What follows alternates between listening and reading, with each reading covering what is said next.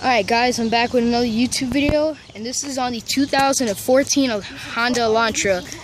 My aunt just got me, got, uh, my aunt just got this car.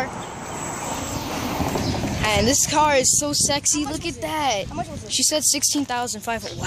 16000 for this? 500, yeah. That's a good deal.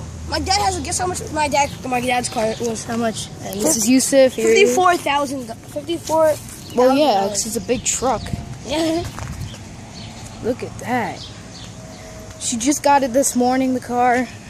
Look at the wheels though. Look at those wheels. That's amazing wheels. Wow.